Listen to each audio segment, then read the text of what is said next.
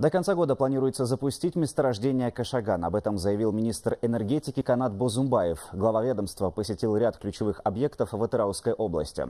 Он увидел, как идут работы на нефтегазовом месторождении и заводе по комплексной подготовке нефти и газа «Булашак». Также министр ознакомился с проектом развития месторождения Тенгиз. Ожидается, добычу нефти там увеличат с 25,5 до 37 миллионов тонн.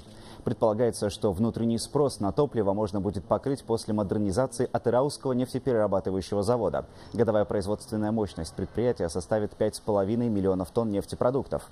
Когда же на полную мощь выйдут все три НПЗ, страна будет производить более 1 миллиона тонн высокооктанового топлива, что позволит значительно снизить зависимость отечественного рынка от импорта на сырье. До сих пор по автомобильным бензинам зависим от импорта. Порядка миллион триста тысяч мы ежегодно в Казахстан бензинов, автобензинов импортируем.